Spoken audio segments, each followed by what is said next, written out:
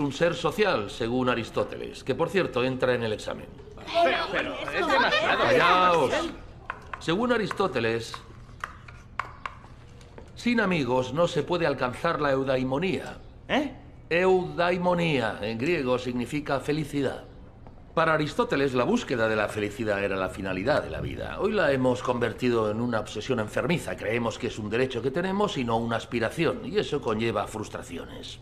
Algunos se consuelan diciendo que la felicidad se encuentra en las pequeñas cosas. Está muy de moda decir eso del olor del café por la mañana y los pájaros que cantan una mierda. Eso no es la felicidad. Merlí, ¿estás bien? ¿Quieres que avise a alguien? A ver, ¿quién de vosotros es feliz?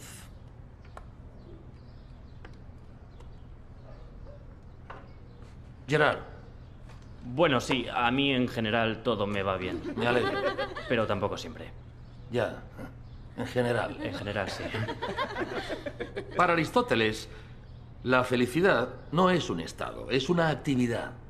Solo es al final de la vida cuando se puede decir si ha sido feliz o no. ¿Queréis ser felices? Aristóteles os dice que os lo tenéis que currar. Merlí, ¿pero esa no es una idea contradictoria? ¿Cuál? Quiero decir, ¿nos tenemos que trabajar la felicidad?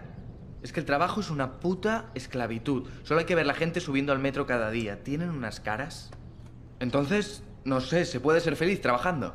Tienes medio punto más en el examen.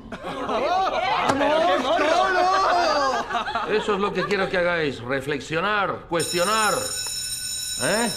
Para el próximo día tenéis que escribir todos en un trozo de papel qué pensáis de la felicidad. ¿Tiene que ser muy largo? Puede ser una frase y tiene que ser anónimo. Gerard, toma, a ti que en general todo te va bien, te encargarás de recoger.